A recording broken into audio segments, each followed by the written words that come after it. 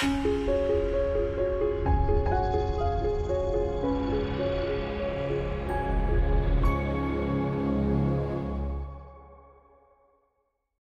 I'm, I'm going to talk to you about, uh, well, today we call it Lean UX in the experience economy. In reality, it's uh, my practice and the work that I've done for the last 20 years that I'm going to talk about today. Um, it's, it's, I'm going to cover um, some of the aspects of how to become uh, faster at getting to really, really strong products and a um, strong understanding of, of what, what's really uh, um, what's really important for, for customers. So uh, how many of you saw Søren Brogaard earlier today? Okay, so um, so Søren and I we go uh, way back, and a lot of the, the, the stuff we've done around this area, uh, kind of we, we weave in and out of, of each other's lives uh, when at least when we live on the same continent, uh, and um, and so some of the examples are actually work that we did, and uh, some of the things he mentioned, you will see uh, uh, myself referring to that. But I better get, get going. So I want to cover three things. why Lean UX now? What is Lean UX? And also, how can we use Lean UX? Because one thing is to know all the theories, and I can show you a lot of things. They might look easy from stage, but when you try, try them in real life, you run into all sorts of uh, issues. And I'm going to talk a little bit about that, if time permits, towards the end. Um, my path to this uh, customer-centric uh, way of working. Um, so uh, this year I had a 20-year anniversary. Uh, straight when I came from school, I started straight into Nokia, and the first project I did was 3210. Uh, the mobile phone that, uh, that that's really set a lot of standards for what mobile phones should be. Um, uh, I spent 12 years at, at, Nokia with the rise and the fall, and, and I, I, can say that uh, one of the reasons why I'm so obsessed with customer centricity is that we had it at, at, at the onstart, uh, at the start at, the Nokia time, and we kind of lost it. And I've been uh, working since, uh, since those tragic days of, of 2007-8 um, to figure out how does that actually work. From there, I went to Silicon Valley.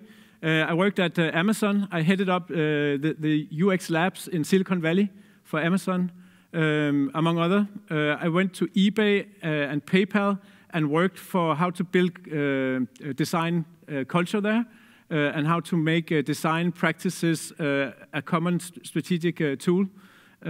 and upon returning last year, uh, I've started, I've worked uh, a lot with uh, Trifork and, and, other teams while also studying, not studying this time, but um, lecturing at the design school here in Holmen and, and parts of, um, of my time at Cranfield University in, um, in UK and uh, lately started at Designrådet, the, the, Danish Design Council, to uh, help bring in the design thinking practices uh, more common into the design industry there. So when we, so why Lean UX now? Um, and I want to start with a picture. And I want you to see, see if you are all awake. So uh, can you guess what this picture depicts? And there's some clues, right? There's some, some uh, structural elements that, that look pretty familiar up in the corners, and maybe a, a, a profile of a church. Any, anyone know about this uh, story? Yeah? It's the Eiffel Tower, yes. And there's a little dot uh, suspended in there somewhere in the picture. Can you all see it? Do you know what it is? It's a very, very failed product launch. That's what it is. Let's, let's have a look. So in 1912, this uh, guy, Franz uh, Reichelt, uh, he had developed a wingsuit and he had called for the whole world press to come and see the launch of this wingsuit that he was going to uh, fly himself. He did not know about Lean UX. Because uh, let's see what happened to, uh, to, to the guy. And this is actual.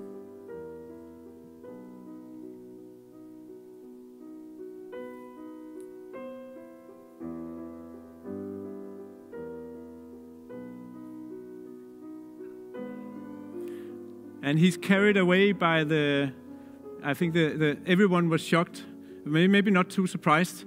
But, uh, and I think that this, uh, this, this says it all. Someone was uh, measuring the, the, depth of the hole that he left in the ground. And uh, so this is, a, this is a picture of what happens when you don't get your, uh, your product work right and you, you end up launching something that's actually a very expensive prototype. And let, let's do something about that today, uh, preventing that. So in this customer experience uh, economy, design thinking, um, the way that, that we express it, it's really the way that all the functions of the company can get together to work creatively at the onstart. That's the way that I, that I use design thinking now. Um, so it's a number of tools and thinking styles um, so that you can go rapid and lean uh, into your uh, product development. And we're going to look at that. So the classic BDT uh, triangle, meeting in the middle, and we want to focus around uh, the user experience at this point in time. Uh, why? Because launching success successful products uh, today is all about getting the user experience right. As soon as you uh, figure out what, uh, what the users need to experience, you can start building your tech systems and your design systems and your business uh, models from there. Lean UX then is a set of uh, rapid um, prototyping to get that user experience done first. So it's a set of learning cycles where we just continually pound that, that drum of how do we get the customer to experience what the customer, customer uh, needs. Um, and then we can add those technology, business, and, um, and uh, interface design layers to it. So that means that the Lean UX becomes that engine that sits at the center of what we do as a collaborative, diverse, highly diverse team. And um, let's, let's uh, in, in, this uh, presentation, I want to show you some examples. Uh, I want to show you some, uh, a, a, video from some work that I did um, uh, some months ago uh, while in India, and also talk a little bit about how you can bring that into your own company and into your own work. Good.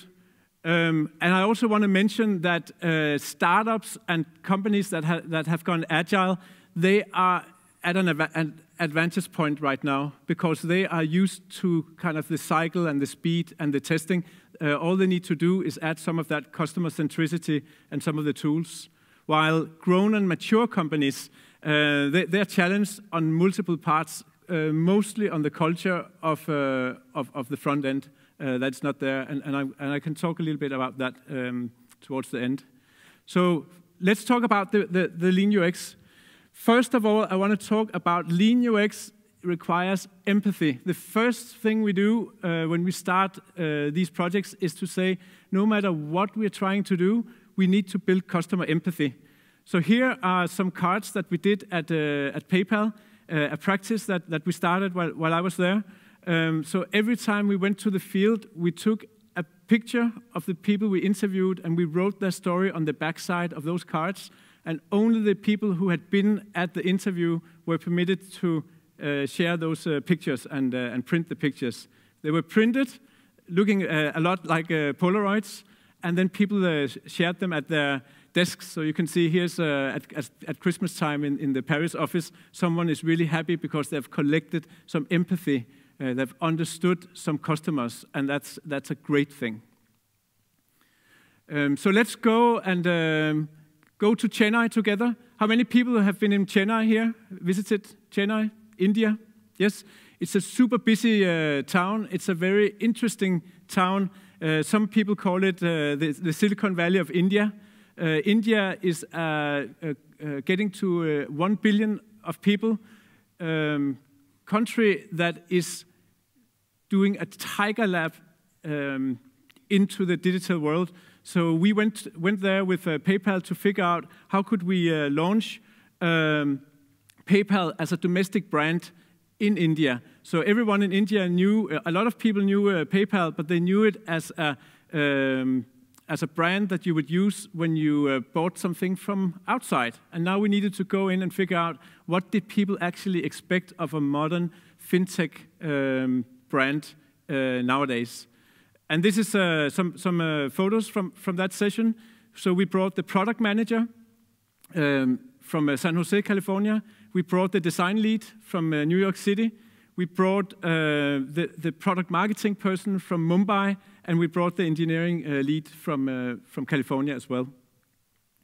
Um, yeah, let's, let's roll that and get a little more volume. Let's get some.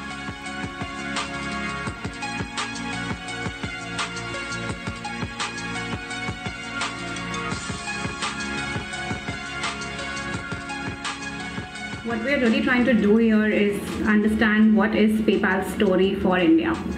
We started this year with problem discovery CDI, where we got into uh, the emotional understanding of what people really want and what are the pain points they have with online shopping.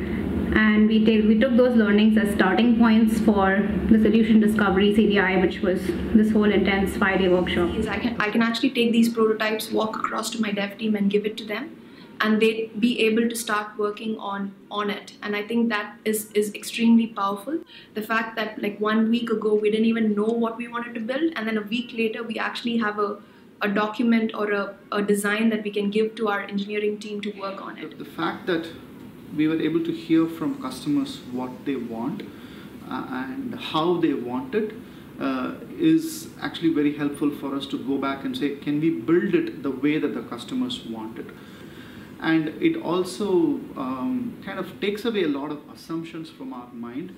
So uh, it's now real data that we yeah, have. Yeah, so this third concept is around uh, aggregate payments, and we decided we decided to call it PayPal Credit just so people understand so what it such means. an exciting and time to be a part of doing things the right way in developing products and selling them to market. My views coming out of this about what we need to do to launch in India are completely different to my views going into this. And I think anyone who's in a decision making role in regards to a new market launch should also have the benefit of that process.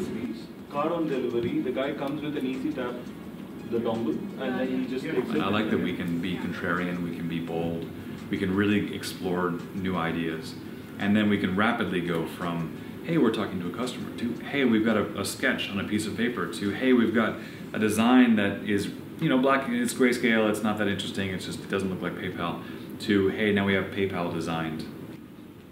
For me, this whole session did not feel like work. It was like I am following my passion. This is the first time we are interviewing real customers and getting to know how a product is going to be built from scratch. I think the entire five days was feeling like a scrappy startup. The workshop is over, but our work has just begun. And now we're going to think of how we're going to package all of this together. And next stop, Singapore and San Jose. And hopefully, the whole company is as excited about India as we are.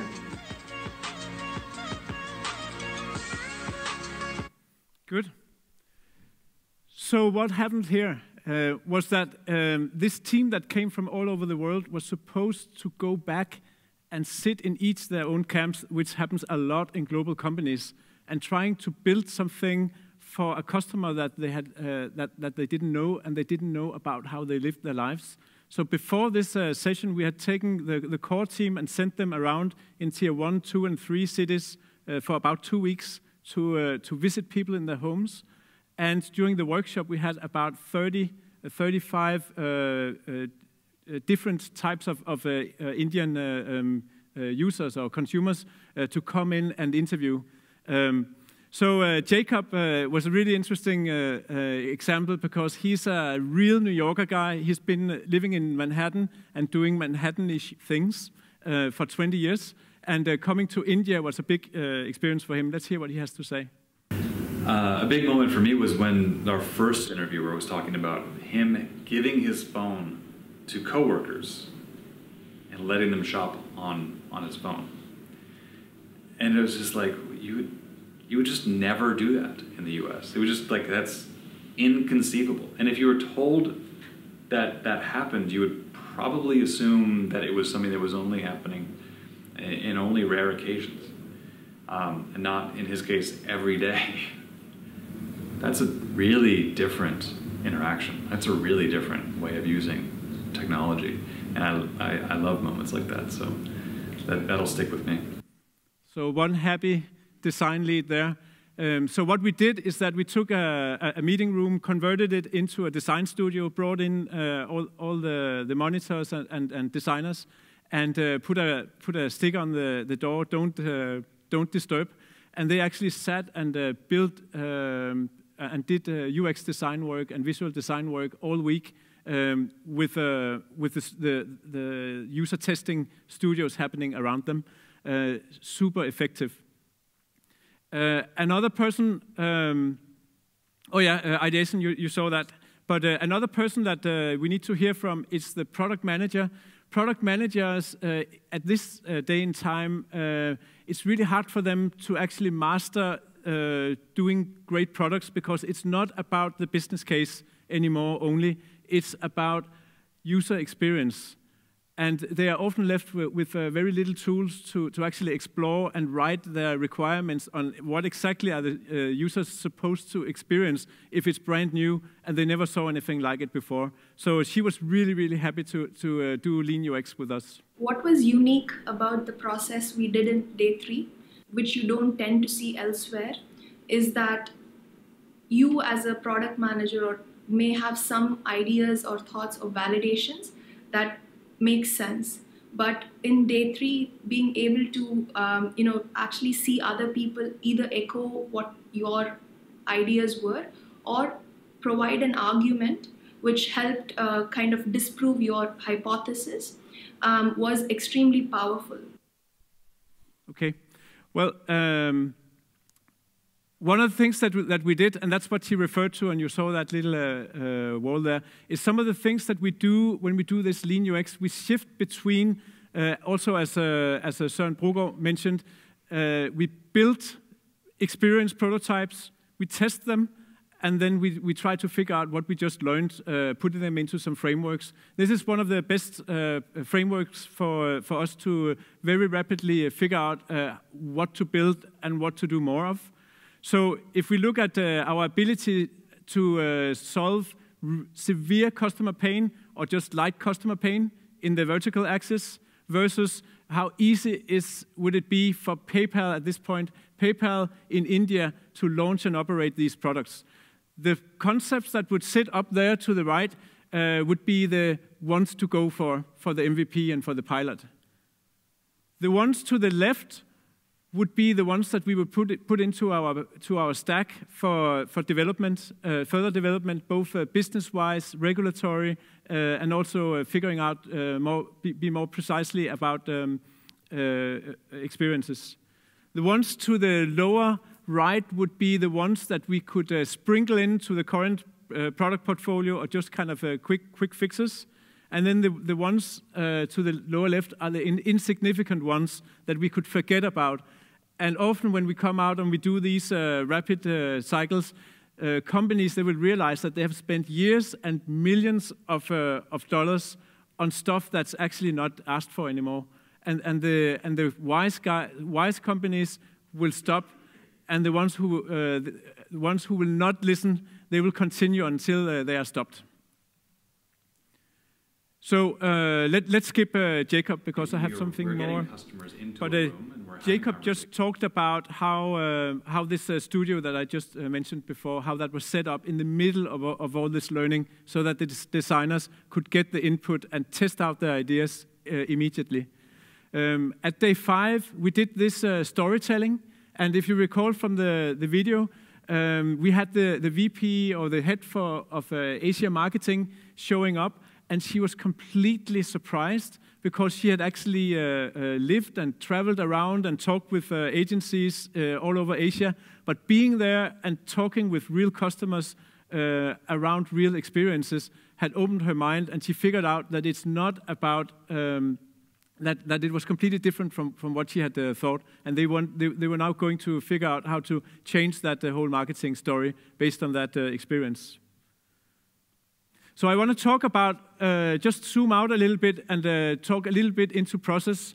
So uh, I mentioned to you before that we send people out to do field work, and that's also what we do here in, in, in Europe and what I've done in, in US. It's not enough to invite people into a lab or a meeting room and, uh, and drill, the, drill them uh, because they will not necessarily tell you what's actually happening. They will tell you what they think is happening. But by going there, going into the real world and observing, you will see what they do, and you will see uh, some of the things that uh, are part of their blind spots. So, based on all this work, you will come out with some themes that we can bring in and, and start working on as, as, a, as a broad development team. And we, uh, we go with this uh, five days uh, sprint. So uh, I know that there, there's a lot. Uh, the, the, Google Sprint book that uh, probably a lot of you have, have read also talks about five day sprint. And from those 20 years of experience I have running these, I can tell you why it's five day sprint. First of all, uh, it's about as much as you can uh, as you can uh, beat and pound on a, on, on, a normal team that are not used to these uh, tools. They get super exhausted. So five days is about the top.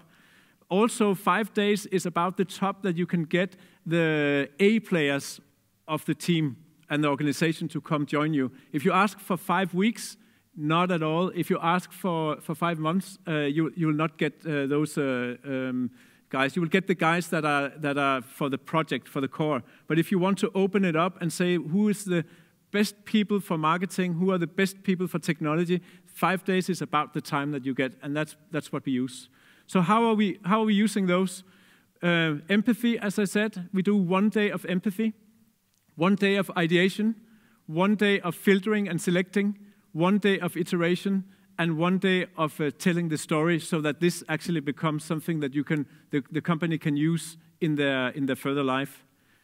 And the actual five-day workshop, um, the way that you can talk about it, uh, you don't use the Lean UX uh, language. You, you, use the language there towards the bottom, which is the language that the people, um, the, the, the sponsors actually use in their everyday. So you, you have to translate your Lean UX lingo and design thinking lingo into something that the decision makers actually uh, understand and they can relate to. Um, so you get customer segmentation, you get uh, you get idea catalogs, you get a solution portfolio and roadmaps, and that's that's the kind of of, uh, of words that they understand, not necessarily filter and select and, and those kind of, of terms.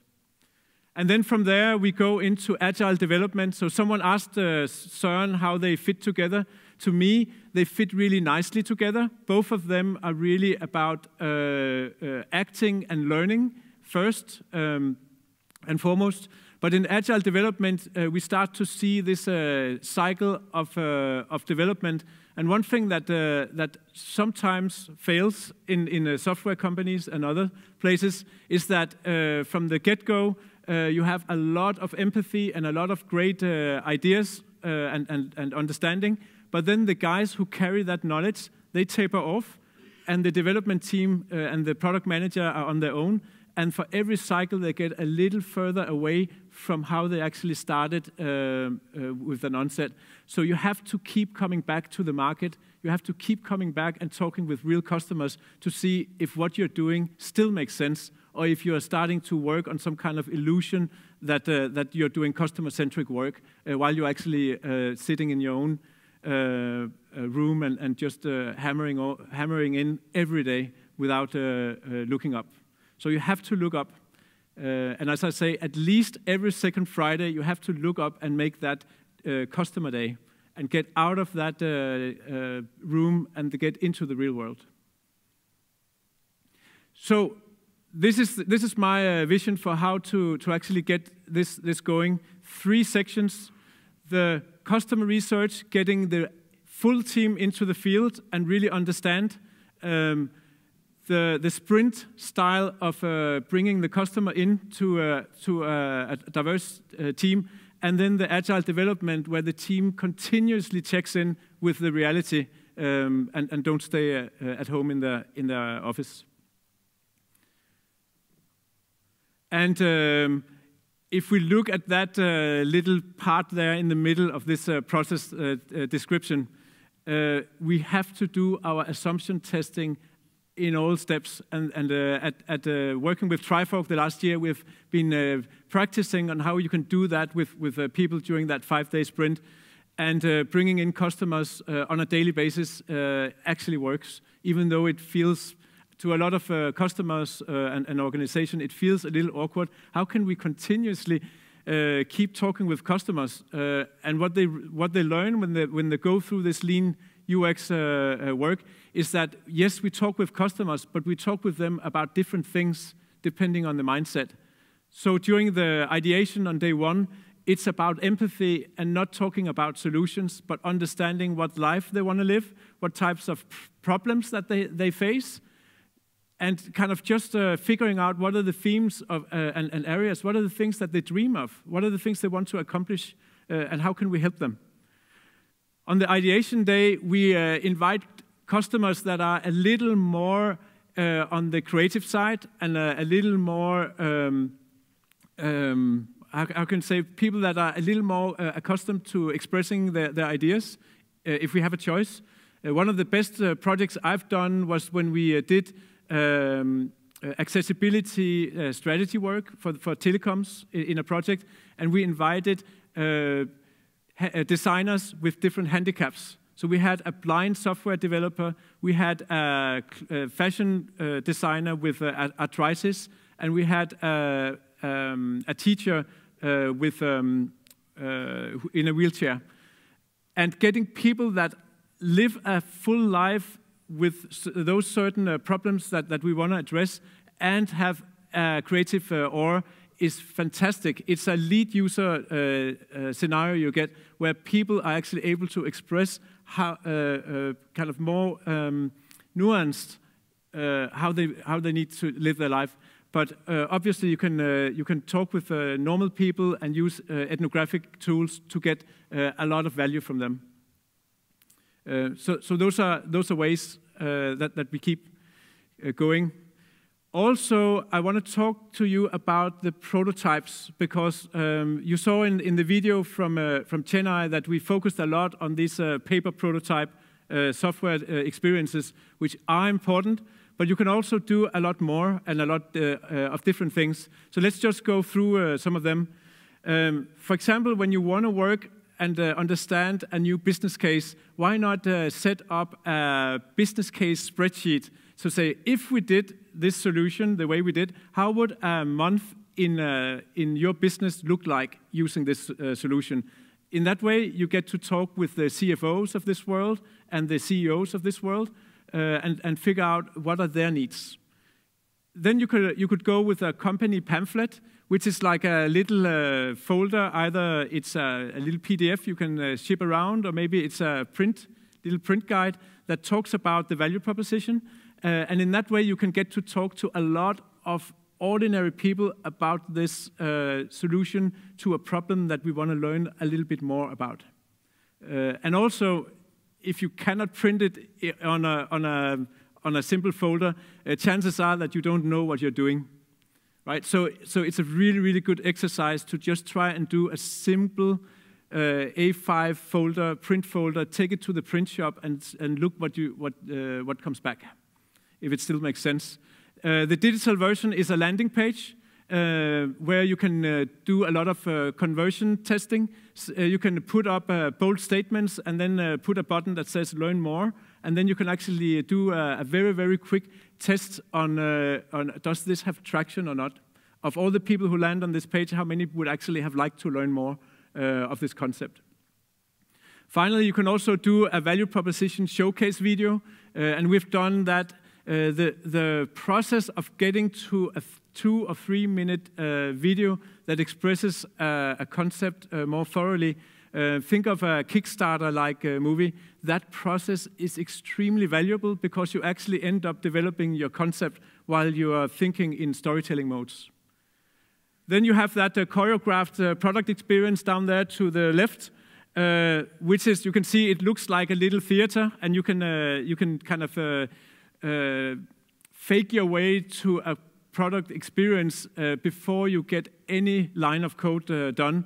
And uh, where that started was uh, um, we did, uh, for example, ATMs were made of, of, a little box and people could punch in, but then inside there was a little bank clerk who was actually doing the work and, uh, and putting out uh, paper slips to see what kind of uh, tone of voice and what kind of features actually worked. And in that way, um, Uh, you will also hear it referred to as a ghost in the machine or Wizard of Oz if you talk with uh, some of those lean UX guys. Th those are those concepts that you do. Uh, really, really powerful stuff to learn. Uh, and the, the storyboard for the experience, just write, say, well, if this was a play, let's write the script for what the, who are the characters and what do they uh, accomplish. Uh, very, very strong uh, way of doing prototyping too for experience. And then finally, the more kind of um, uh, traditional prototype, putting a learning, uh, clickable, uh, um, shallow front end, and then also working on a back end, and then have some people connect the two dots. often, if you do, if you if you work in in e-commerce, you would do a, a landing page, and people would say, "I want to buy this," And instead of uh, hooking them on to some payments, you just send an email, and then there will again be some clerk somewhere uh, running the payments uh, in, in, in manual works. So if we rearrange these, I want to talk about how to do prototyping a little bit and why we do prototyping. So let's look at, at two dimensions for prototyping. If you think about fidelity, the fidelity of a prototype or any solution is how well it resembles the final product. So high fidelity prototypes are made with the right typography, with the right materials, with the right size, uh, with the right materials. Low fidelity are made with uh, paper, cardboard, uh, big boxes, and what have you.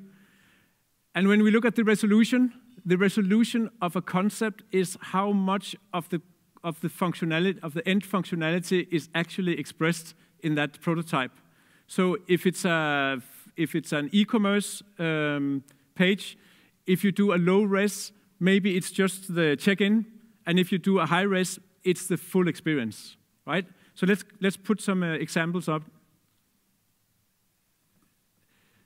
Paper prototyping, super powerful you should always do a paper prototype, and you should always be doing paper prototyping of any experience that you want to do before you do any code.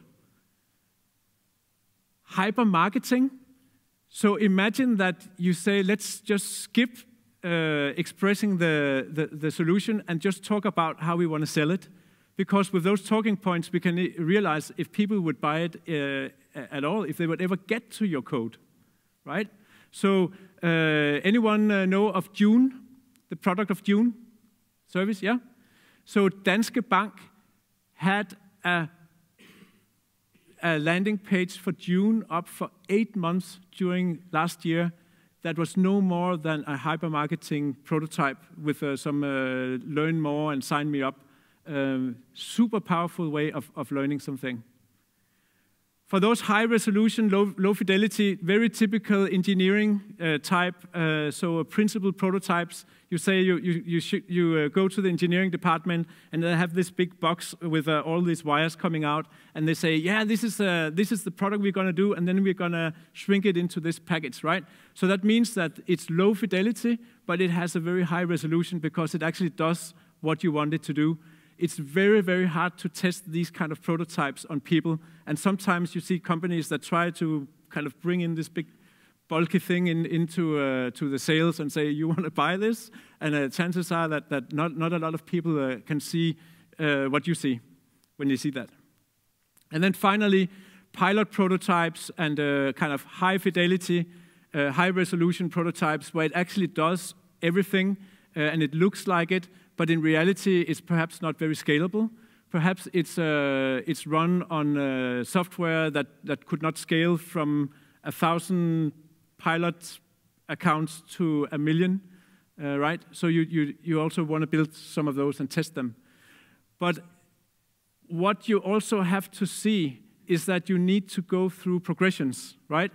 So you need to go through progressions from left to right uh, and a lot of times when we go into uh, to uh, projects and I work with uh, companies, there's a tense, there's this creep that people say, oh, we want to do it much better, Michael. Let's just make a high fidelity prototype at first go. And what I say, I say, no, let's, uh, I shy away from those because if you spend a lot of money, you are afraid of killing it. And the reason you build prototypes is to kill them and learn from it. You have to be able to scrap any prototype that you build uh, and being happy about it because you've learned something. Uh, so I remember once at, at Nokia, uh, we had uh, we had built this uh, super realistic uh, new product. We found someone in New York that could build it, and it had cost hundred thousand dollars. And we carried it into this meeting, and the VP was try, trying it around, and then oops, and and it, and it died. And that was the last time I did uh, such a such an expensive prototype uh, for that type of uh, project. Absolutely, because the higher quality the prototype, the less you invite for co-creation and comments for change, right? Because it's your darling. People don't want to uh, um, uh, upset. They don't want up to upset themselves. They said, "Holy crap! We spent three months building this, and I actually don't like it. Uh, I better better keep quiet." And the risk is that this uh, this uh, bad concept actually continues a little too long. So the the idea of lean for lean UX is to go to the experience and do it fast to learn to uh, to correct and and uh, and only do uh, only promote great stuff, right? So only build the minimum prototype possible to satisfy that current learning goal you have. Don't kind of overemphasize and say, hey, if we just spend another week and uh, put some gloss, we could also use it for the car show or the, or the trade show or whatever, because it's actually going to lose its purpose. And I want to talk, uh, how, how am I for time? Yeah, that's good because I want to talk a little bit about how we could use uh, Lean UX. So I, I, I showed you some uh, and talked about some of the principles and some of the methodology that, that we use in the field. Um, and it, I don't know uh, how you feel, but, but at least I find them pretty simple.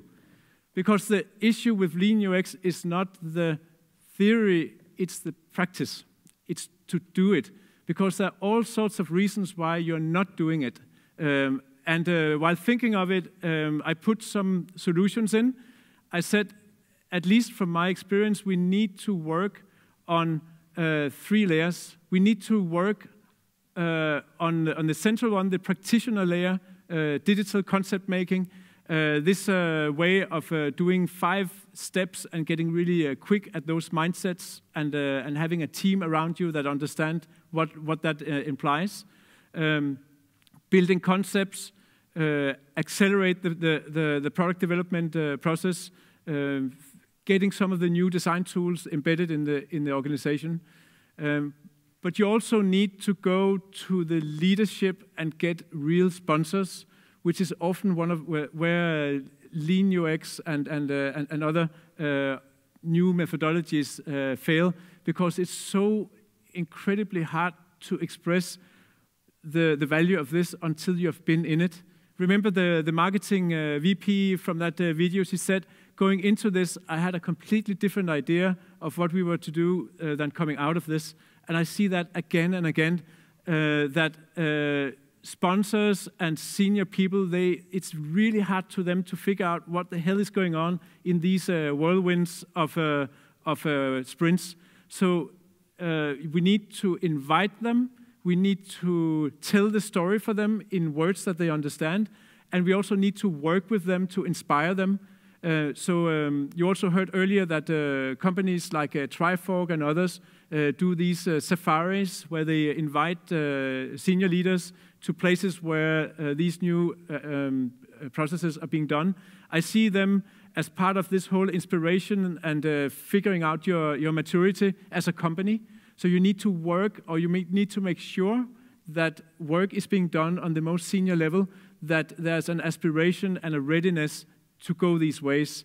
Otherwise, uh, the practitioners will have to work undercover, and it's, it seldomly goes uh, uh, well for very long working undercover in a, in, in a company, even though it has to be done at times. Uh, but vetting the appetite, figuring out what it is that you want to do, establishing actual programs, so in my time, I've done several practitioner training courses, um, and the, the, successful ones were always supported by a C-level sponsor. Uh, and uh, these kind of uh, partisan ways uh, of doing things, they only uh, survived for, for very, very short time. So super important, this whole um, um, senior leadership thing. The culture anchor is the, is the last thing. So one thing that I hear a lot when we do these workshops for a week is that people are very excited. They're like energized and like, oh, we can't stop. We're, this is the best thing. And then they come back on the Monday morning and uh, the world is the same. They have changed, but the company didn't change, which actually uh, uh, brings a lot of frustration. And for some of these innovation manager uh, executive uh, educations is up to about 50% of the people who are trained in these uh, tools they end up quitting their, their job because they cannot, they cannot make the rest of the company change with them. So they've been kind of uh, ousted or they have uh, ousted themselves. So we have to work on the culture of innovation and we have to work on that whole kind of story of what it is that we do. Um, so getting design thinkers in, uh, to inspire, getting uh, the storytellers in to inspire, and also uh, establishing uh, new uh, ways that, that uh, and new goals to work from that are more towards the, the lean, agile way of, of working, um, so that people can live out their passion and being doing a great job, and not the opposite. Good. So let me finish on that. just to recap, if you want to build a sustainable design culture that is capable of using Lean UX, you have to have support from the top.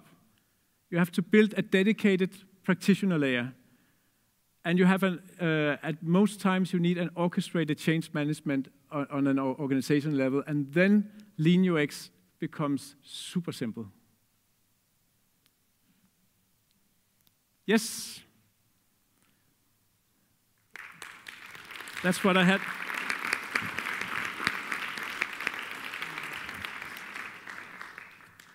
And I want to open to see if we could have some, uh, if are some Q&As.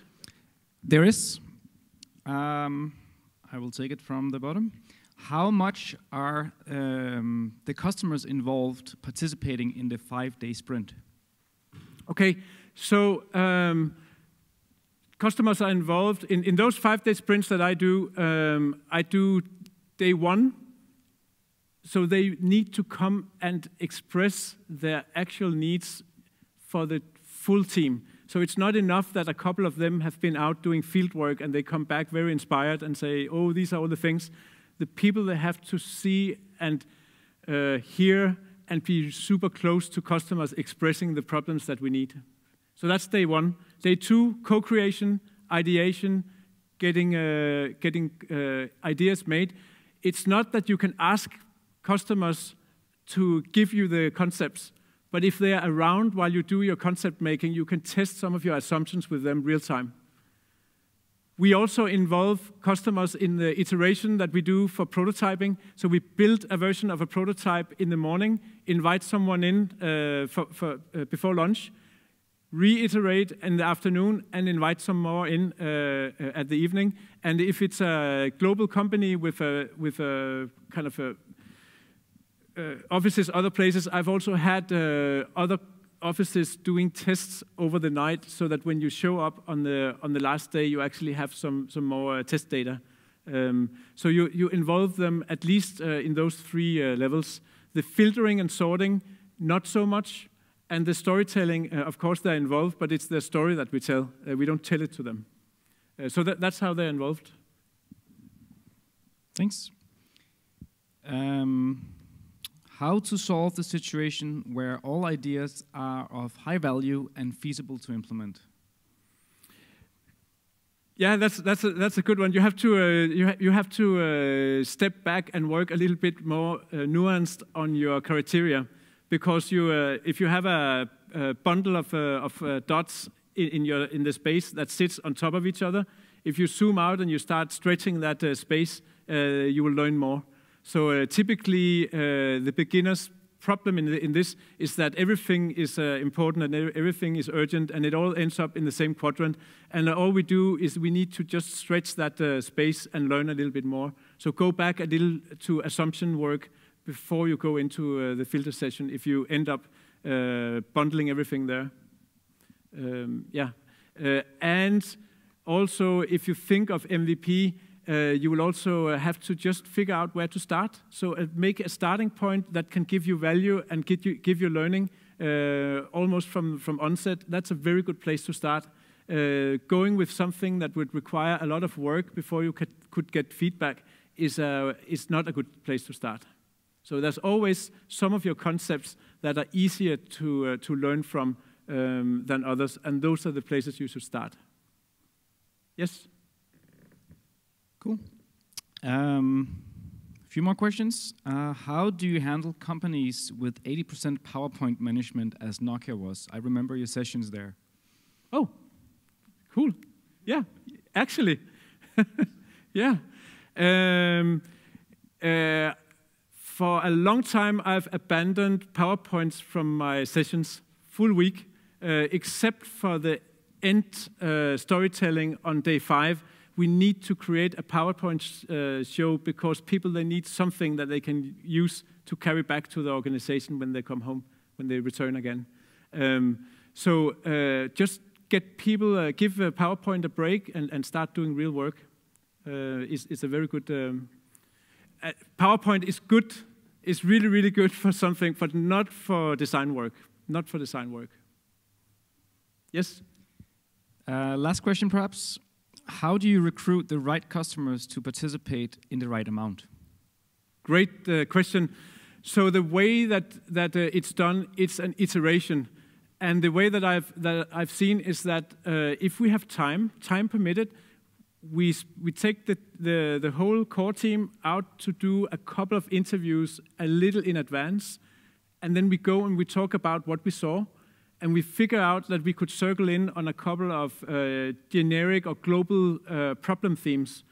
And from the global problem themes, you start to cr craft a screener that says we want to talk to customers who within the last three months have e experienced some of our uh, key problems. So for example, at, at PayPal, uh, I was going out to uh, work uh, for uh, solutions around um, credit card fraud in Italy. And so the screener we did, we said we want to talk with people who have uh, completed a transaction online within the last three months and have had their credit card cloned and, and uh, hacked within the last three months. Because then the pain and the wound is fresh and people actually remember what happened if you uh, if you if you spend time, valuable time, uh, and you do not make a strong screener, chances are that you will have to speak to 10 until someone uh, expresses that uh, core uh, problem that you want to address. So you have to work on your screeners and make sure that the people you talk to they have uh, real experiences of the kind of problems that you want to solve. Yes. Excellent. I think that's it. Thank you very much. Thank you.